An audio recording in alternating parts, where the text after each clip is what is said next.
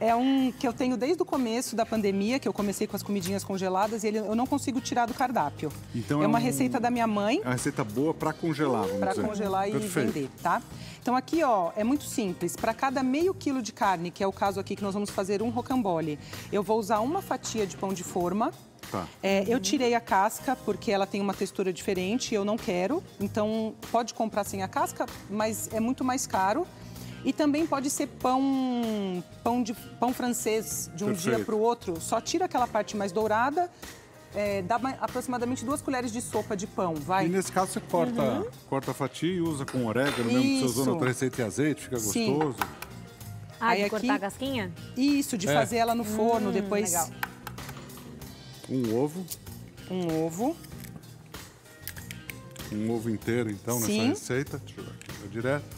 E na receita está escrito 50 ml de água, é isso mesmo, tá? É uma, uma xicrinha de café, Café. daquela bem pequenininha. Perfeito. Porque o que, que eu vou fazer aqui? Eu vou umedecer o meu pão, Por isso você falou que precisa ser a parte mais mole dele. isso, eu vou transformar isso aqui numa massinha. Por que, que a gente coloca ovo e um pouco de, de pão ou de farinha de rosca? Porque a gente vai dar estabilidade nessa carne moída para ela não abrir, para ela ter uma quebrar. textura que fique o rocambole é, perfeitinho lá no forno, tá? Então tem, vai ter a água, mas o ovo tem bastante água também. Isso. É, principalmente na parte da, da clara. Né? Aqui uma colher de café de sal também. E, então uma fatia, um Isso. ovo e E mais uma dica carne. também, ó. Eu, como às vezes faço isso aqui 8, 10 quilos, coloco uma parte. Se você estiver 8 a fazendo. 10 quilos de uma vez. É. Então eu primeiro dissolvo esse meu, esse meu pão umedecido com ovo e água com um pouquinho de carne. Porque aí eu já homoge- homogenizo tudo. Ela mistura mais fácil depois. E aí, eu, quando eu vou pondo o restante da carne, fica mais fácil. Aqui Isso. talvez não faça muita diferença, porque é uma porção individual, né? Sim, uma porção mas uma- única. um volume maior. Mas num volume maior. E aqui você vai usar a mussarela. Isso. Eu tenho queijo prato ali ou mussarela. É, hoje eu tô cheia de dica para quem quer fazer e vender. Tá É. truqueira. Eu uso sempre em, em porções assim grandes, não raladas, porque Raladinho Ralado. dentro, você não vai ver tanto, Ah, né? é. é Agora tá a aí, dica ainda mais de a ouro. presença. Ó, dica de ouro. Dica de ouro, a gente não pode fazer rocambole antes de fazer esse processo de bater essa carne moída. Por quê? Olha como eu percebo furos aqui, ó. Eu percebo Tem o ar. ar, né? É. De tanto eu mexer, o ar foi entrando. Se eu, se eu já abrir esse rocambole aqui, ele vai estourar no forno, tá? Perfeito.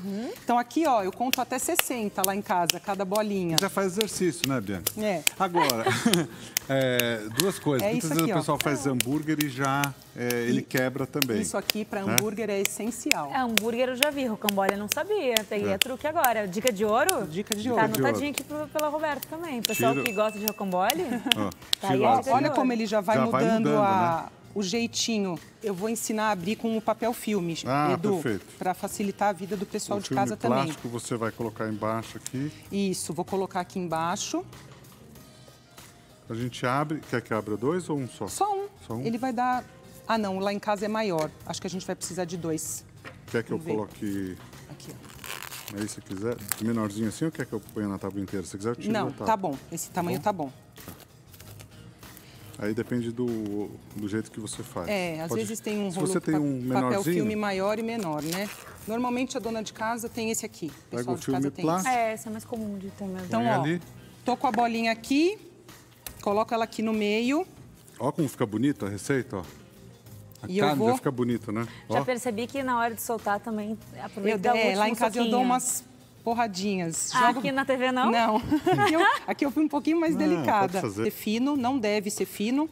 E aí a gente coloca o, você pedaço diz de a- a queijo. espessura dele? é, não precisa melhor? ser fino, porque senão, para você, como eu vou dar só uma volta, como eu vou fazer só um, um enlace, não precisa ser muito fino. Não é tipo bolo de rolo. Não. É. Um beijo para Ana. Ah, Belinha.